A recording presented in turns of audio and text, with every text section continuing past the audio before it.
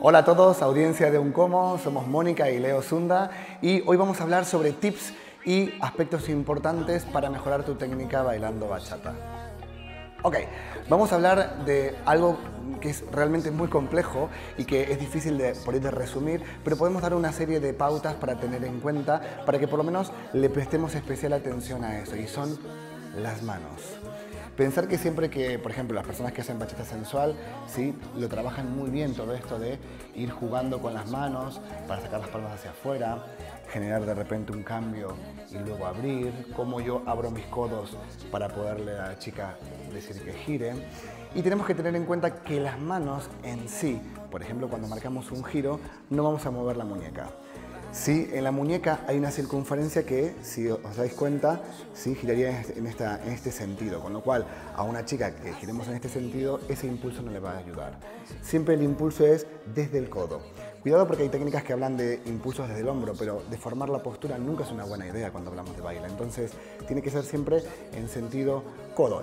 Este brazo le llamamos brazo tocadisco, ¿vale? Es como si de repente este brazo siguiera la circunferencia de un disco. Entonces, la idea es que siempre que vayamos a, girar, el codo esté abierto y podamos hacer una circunferencia lo más concéntrica al eje de equilibrio de la chica posible y lo más pequeña posible.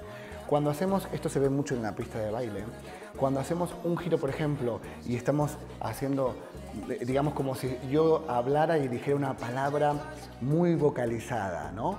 Malo no es, o sea, no quedaría mal, pero quedaría como exagerado. Entonces, en este caso pasa lo mismo.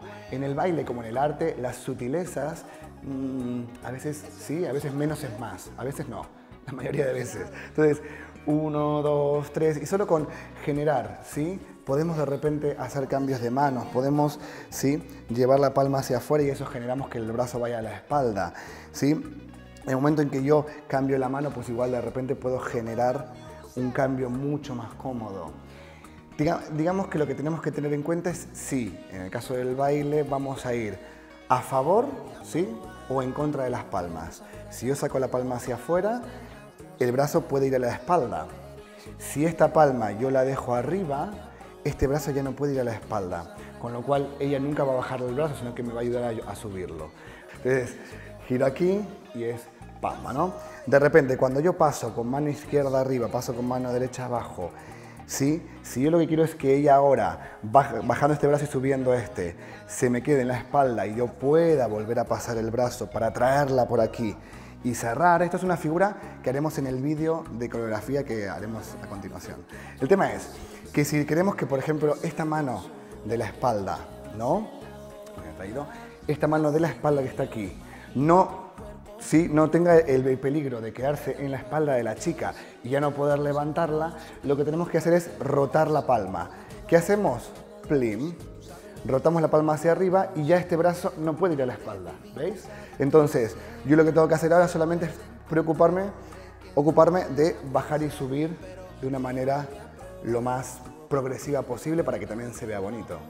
Y sin peligro de que esa mano pueda quedar ahí atascada.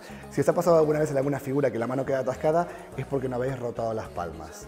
Aquí, bueno, plim. Otra cosa súper importante que tenéis que tener en cuenta, siempre que bailamos con la chica y vamos a hacer una figura con las dos manos, tenemos que intentar focalizar en un punto la marca. Porque si yo, por ejemplo, voy a hacer un péndulo y por alguna razón se desfasan una con otra, ¿sí? aquí pueden haber frenos, pueden haber ¿sí? e incomodidades en la postura también. Lo que tenemos que intentar siempre que marcamos algo con las dos manos es buscar ¿sí? centralizar el impulso y la marca en, un punto. Los puntos en donde centralizamos las marcas son siempre las muñecas. Si yo, por ejemplo, voy con derecha, arriba, izquierda, abajo, aquí quizás lo veis más, más cómodo. Siempre voy a buscar ir juntando las muñecas para que ¿sí?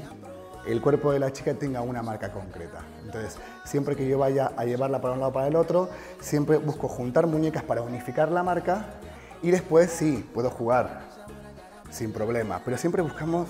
Ah, juntar las muñecas. Luego dividimos para hacer el paso, juntamos muñecas, pedimos un giro, juntamos muñecas, creamos un movimiento. Digamos que para el cerebro es súper importante que los puntos sean concretos.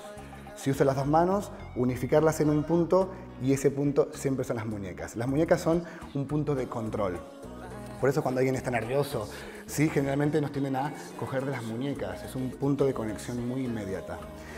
Otra cosa que hacemos cuando, por ejemplo, estamos jugando de esta manera es, en el momento de, coger las muñecas, que nunca es fuerte, porque siempre se generará tensión, tenemos que buscar ese punto que hablamos de conexión para, por ejemplo, pedirle a la chica que se desplace.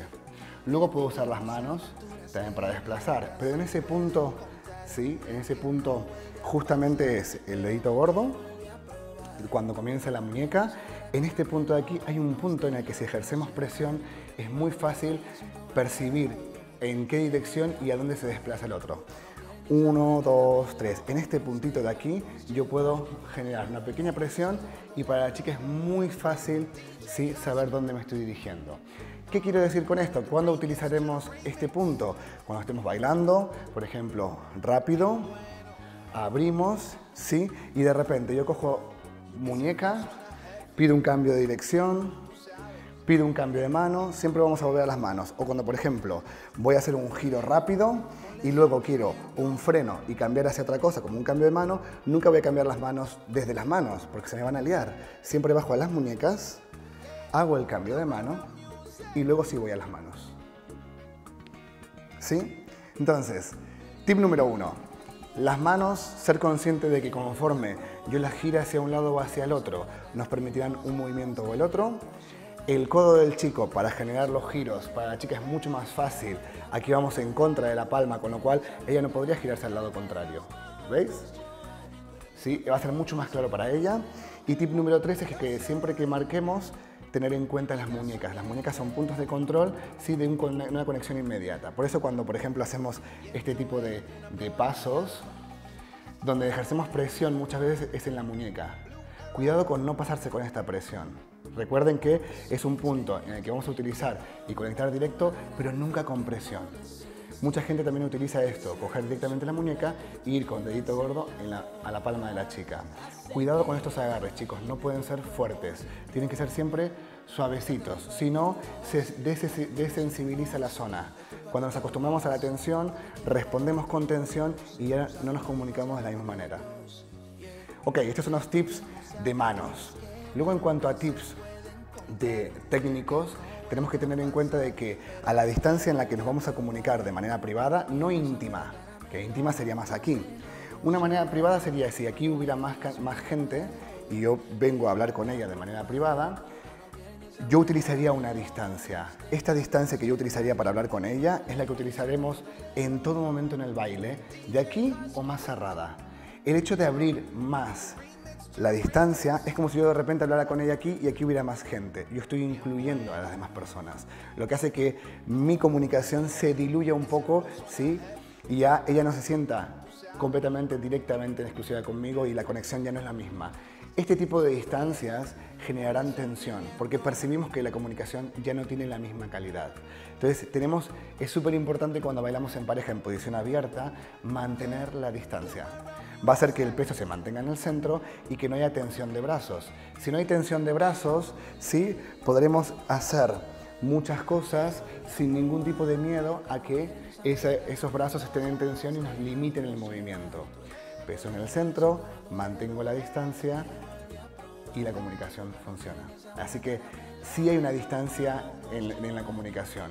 Si nos alejamos más, notamos la diferencia. Esto es súper importante tener en cuenta.